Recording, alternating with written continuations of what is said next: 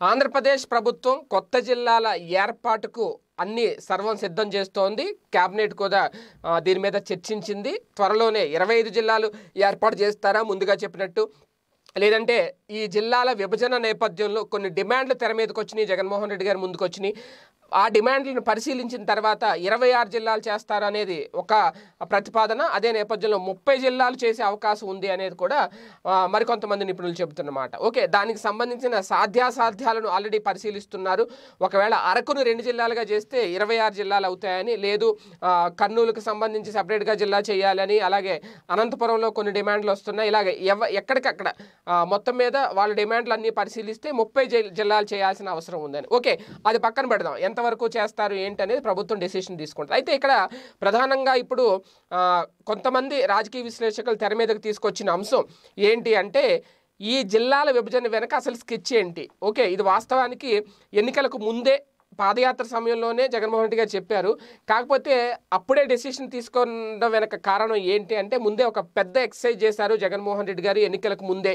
అది కూడా కంప్లీట్గా టీడీపీని భూస్థాపితం చేయాలి అంటే బలమైన ప్రాంతాలు ఎక్కడెక్కడో కలిసికట్టుగా ఉన్నాయో ఆంధ్రప్రదేశ్ రాష్ట్రంలో వాటిని జిల్లాల వారీగా విభజించడం వల్ల తెలుగుదేశం పార్టీకి ఉన్న బలం తగ్గిపోయే అవకాశం ఉంటుంది అనేది. ఎందుకంటే ఒక ప్రాంతంలో ఒక నియోజకవర్గంలో ఒక డెబ్బై శాతం తెలుగుదేశం సానుభూతి పరులు ఉన్నారే అని అనుకుందాం. ఒకవేళ ముప్పై శాతం మాత్రమే వైఎస్ఆర్సీపీకి ఉన్నారని అనుకుందాం.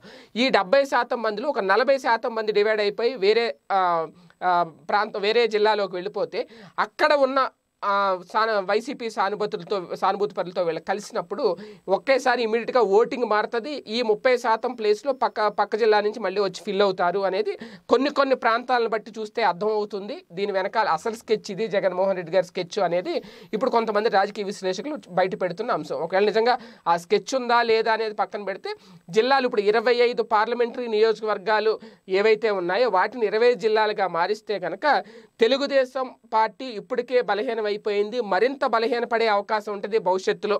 ఇంకా కోలుకోవడం చాలా కష్టం ఈ జిల్లాల విభజన తర్వాత అనేది ఇప్పుడు చాలామంది విశ్లేషకులు చెబుతున్నమాట. అది ఎంతవరకు నిజం ఎంతవరకు వాస్తవం నిజంగా ఎంత స్కెచ్ ఉందా జగన్మోహన్ రెడ్డి గారు? ఇంత స్టడీ చేశారా? ఇంత ఎక్సర్సైజ్ చేసిన తర్వాత ఇరవై ఐదు జిల్లాలు ఏర్పాటు చేయాలని నిర్ణయం తీసుకున్నారా అనేది నిజంగా ఆశ్చర్యం కలిగించే అంశం. మరి ఈ వార్తలో ఎంత వాస్తవం ఉంది అవాస్తవం ఉంది? ఒకవేళ నిజంగా జిల్లాల విభజన తర్వాత తెలుగుదేశం పార్టీ పూర్తిగా బలహీన పడిపోతుందా కాదా అని తెలిసిన తర్వాత అప్పుడు ఇది నిజమా కాదా నమ్మొచ్చు అనేది కూడా కొంతమంది రాజకీయ విశ్లేషకులు చెబుతున్న మాట.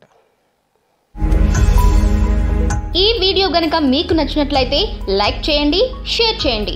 మరిన్ని వీడియోస్ కోసం మా ఛానల్ను సబ్స్క్రైబ్ చేయండి.